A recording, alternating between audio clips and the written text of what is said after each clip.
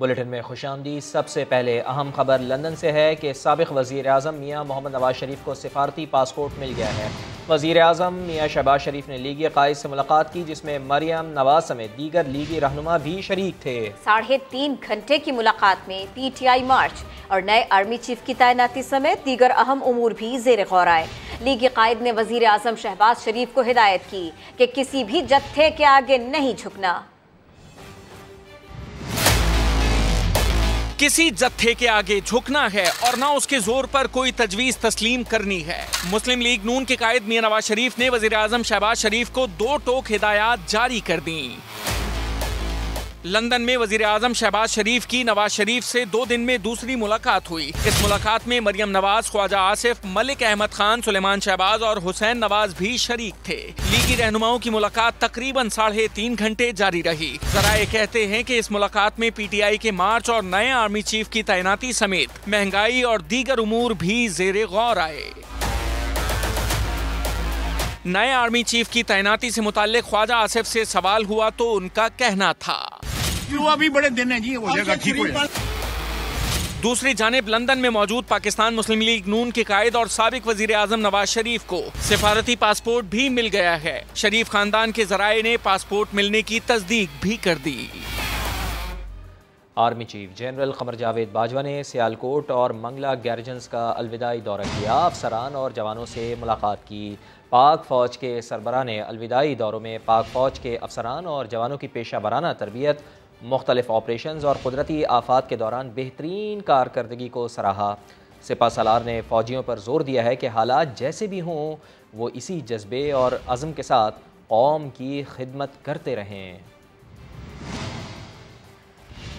सख्त सिक्योरिटी में पीटीआई मार्च का सात रोज बाद दोबारा आगाज़ हो गया। कायदीन के लिए बुलेट प्रूफ रोस्टर्म कंटेनर पर लगा दिया गया। मर्ज़ी की एफआईआर नहीं कटवा सके। चीफ जस्टिस इस मामले का नोटिस लें। ये अब हमारी मार्च रुकेगी नहीं, तहरीक है, वो रुकेगी नहीं, वो इंशाल्लाह और ज़ोर पकड़ेगी।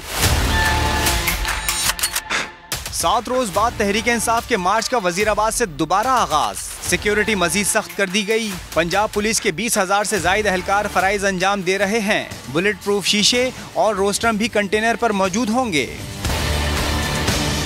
इमरान खान ने वीडियो लिंक से खिताब में कहा, मंसूबे के साथ मुझे मारने की कोशिश की गई। चीफ जस्टिस नोटिस लें। गवर्नमेंट हमारी है। हम हैं पंजाब के अंदर आ, हमारी हुकूमत है। वो पुलिस कहीं और से कंट्रोल हो रही है। चीफ जस्टिस साहब आपको देखनी पड़ेंगे। मेरी एफआईआर और अब वाजे हो गया कि दो शूटर हैं क्योंकि वो फ्रेंजिक्स में निकला है। तो इसका मतलब को जो उन्होंने कहा था एक ही आदमी ने और दीनी इंतज़ाम पसंद वो खत्म हो गई बात। हम सर बनाना रिपब्लिक बनने जा रहे हैं। वक्फे के बाद शुरू होने वाले मार्च में पीटीआई अरकान कारकुनान को निकालने में नाकाम दिखाई दिए।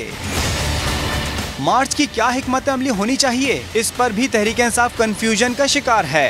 रावलपिंडी के मरी रोड पीर बधाई मोड़, सवा कैंप और दीगर मकाम पर तो धरने खत्म कर दिए गए। लेकिन जुल्फी बुखारी की क्यादत में मुजाहरीन ने मोटरवे से इस्लामाबाद आने और जाने वाले रास्तों को बदस्तूर बंद कर रखा है। जुल्फी बुखारी कहते हैं, इमरान खान का हुक्म मिलने तक मोटरवे एम वन इंटरचेंज बंद रहेगी।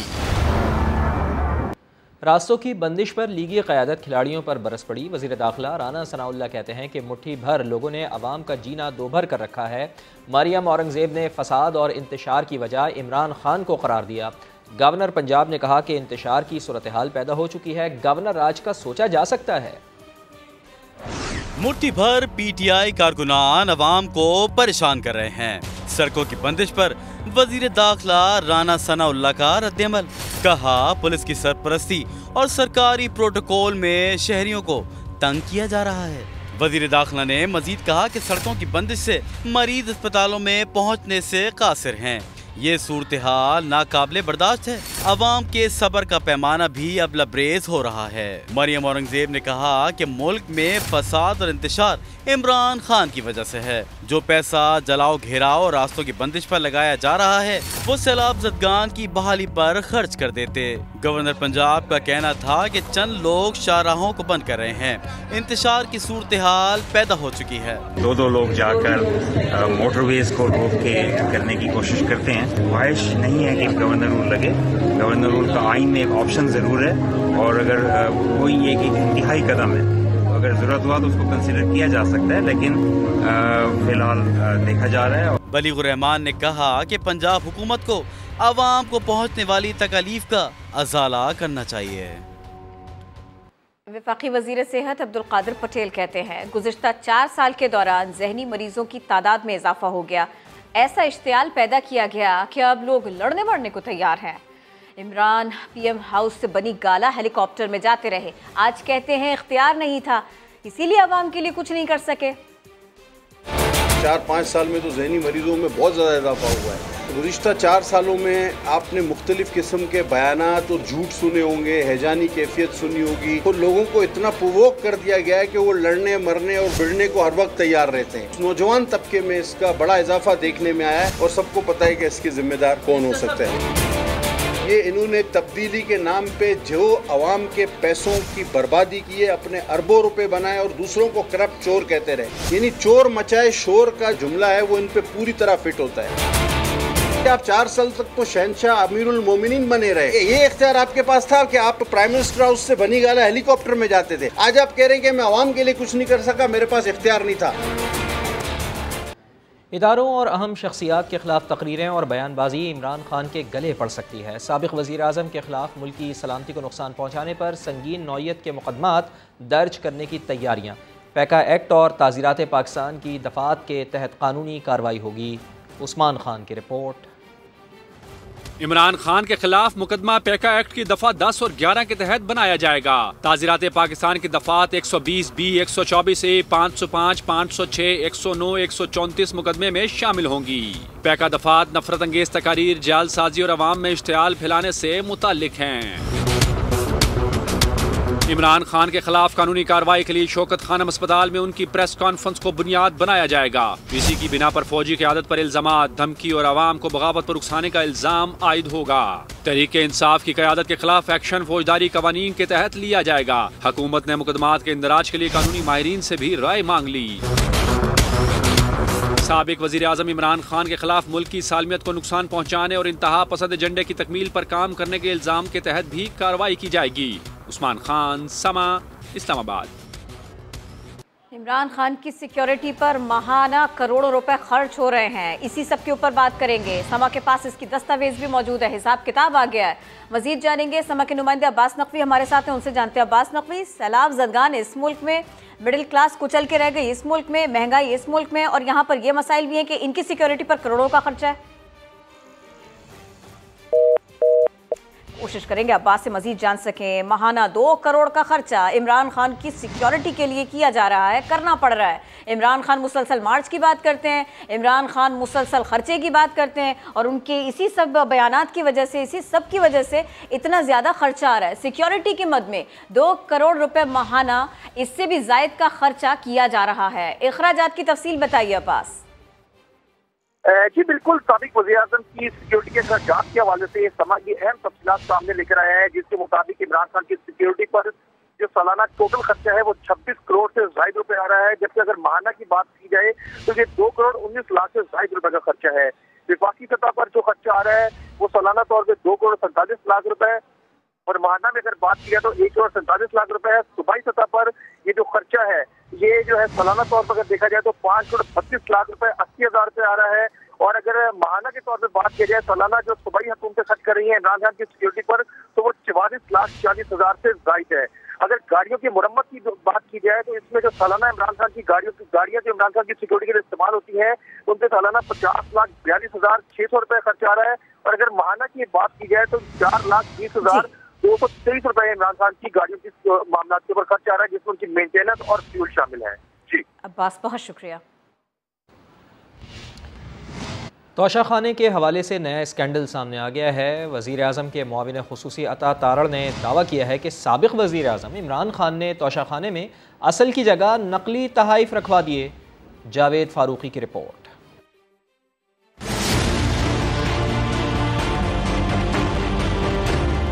साफ़ चली, शफाफ चली का नारा। लगाने वालों का एक और मुबैना स्कैंडल।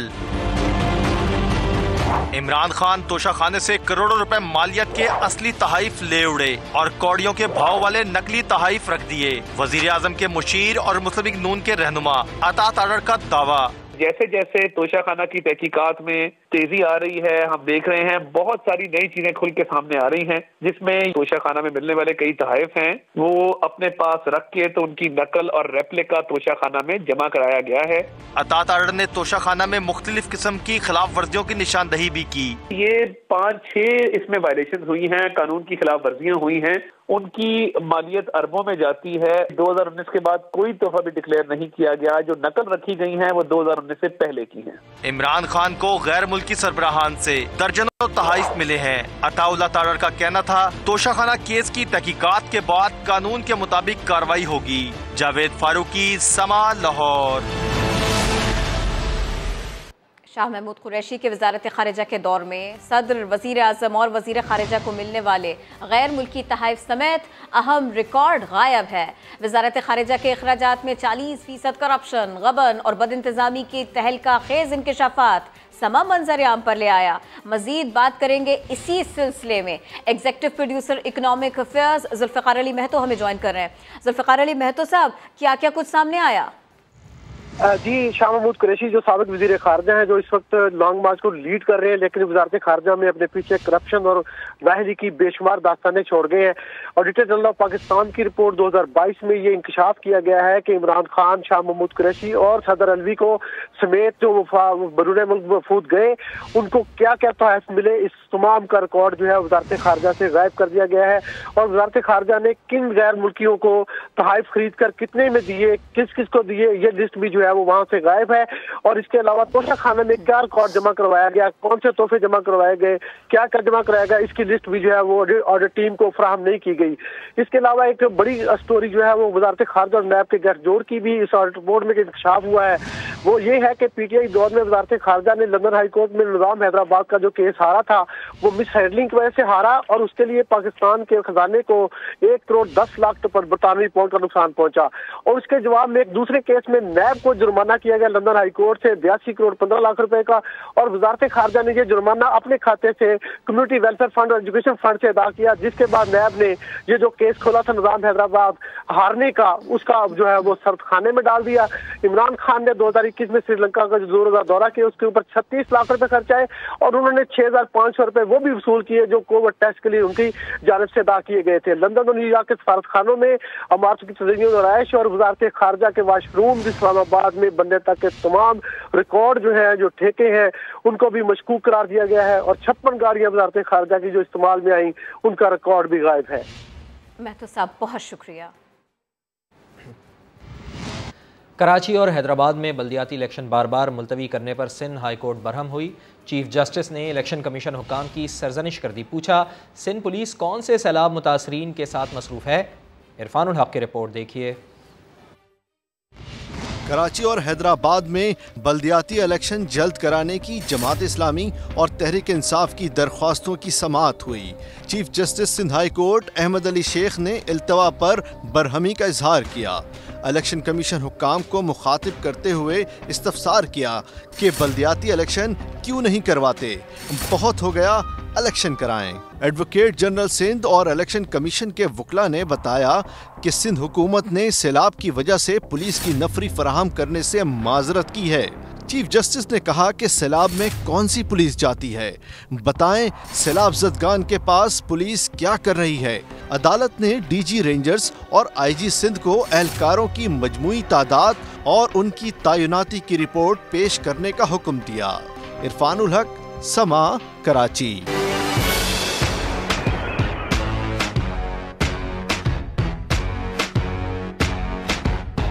ऑस्ट्रेलिया में जारी टी ट्वेंटी के आलमी मेले ने उन्नीस के आलमी कप की यादें ताज़ा कर दी हैं।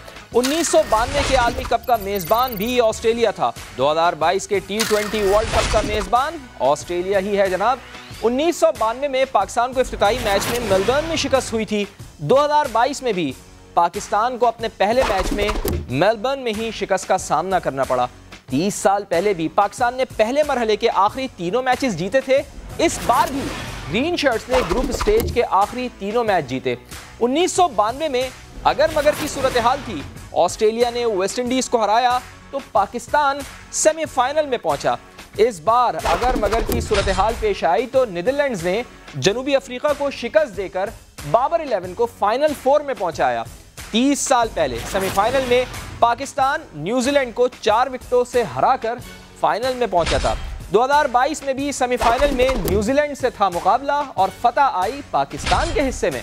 उन्नीस सौ बानवे के यादगार आलमी मेले में फाइनल में पाकिस्तान का सामना इंग्लैंड से था। 2022 के आलमी कप का फाइनल भी मेलबर्न में होगा और मुकाबला होगा इंग्लैंड से। तो क्या पाकिस्तान इस बार भी ट्रॉफी उठाएगा? भारत को सेमीफाइनल में 10 विकेटों से शिकस्त मिली। वज़ीर आज़म शहबाज शरीफ का दिलचस्प रद्दमल ट्वीट किया, बगैर विकेट गिराए एक और 170 का टारगेट हासिल करने वाली टीमें फाइनल में टकराएँगी, ऐसा ट्वीट वज़ीर आज़म शहबाज शरीफ ने किया। भारत को सेमीफाइनल में 10 विकेटों से शिकस्त पर यह उनका ट्वीट था जो हमने आपके सामने रखा। टीवी चैनल्स के लाइसेंस की मअतली के इख्तियार का मामला सुप्रीम कोर्ट ने पीबीए के हक में सिंध हाई कोर्ट के फैसले के खिलाफ पैमरा की अपील खारिज कर दी है। हाई कोर्ट का पैमरा को लाइसेंस मअतली के रूल्स बनाने का हुक्म बरकरार रखा। जस्टिस एजाजुल एहसन ने कहा कि 20 साल से अभी तक पैमरा ने रूल्स तक नहीं बनाए। हाई कोर्ट के फैसले को भी साल हुआ। पीबीए वकील ने दलाइल में कहा कि चेयरमैन पैमरा ने एक माह में चार दफ़ा चैनल्स को बंद किया। चैनल 10 दिन के लिए बंद कर दिया जाए तो वो ख़त्म हो जाता है। जस्टिस एजाजुल एहसन ने कहा कि रूल्स बनाना लाजिम है। इसमें किसको इख्तियार देते हैं वो अलग बात है। पाकिस्तान के सरकारी तालीमी इदारों में मसाइल की भरमार निजी स्कूल कॉलेजेस और जामियात में दाखिलों का रुझान बढ़ गया। यूनेस्को ने तफसी जारी की दानियाल उमर की रिपोर्ट देखिए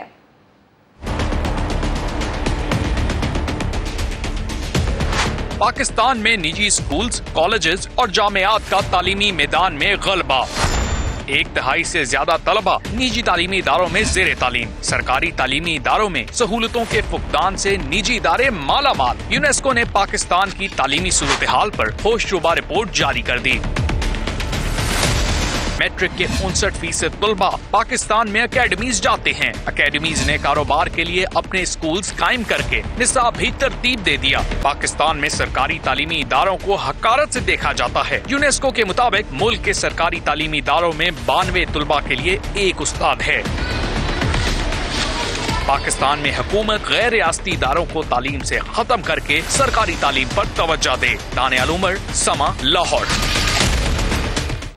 पीएसएल सीज़न आठ की ड्राफ्टिंग के लिए नामवर क्रिकेटर्स ने अपनी दस्तियाबी ज़ाहिर कर दी है। एरोन फिंच पहली मरतबा पीएसएल का हिस्सा बनेंगे। आपको बताएँ कि वेस्ट इंडीज़ के Nicholas Pooran Sri Lankan batter Rajapaksa New Zealand के जिमिनिशम मार्टिन गप्टल और इंग्लैंड के आदिल रशीद भी पीएसएल में शिरकत के ख्वाहिशमंद हैं। इसी के साथ ही वक्त हो गया ब्रेक का, जिसके बाद दोबारा हाजिर होंगे हेडलाइंस के साथ। देखते रहिए समा।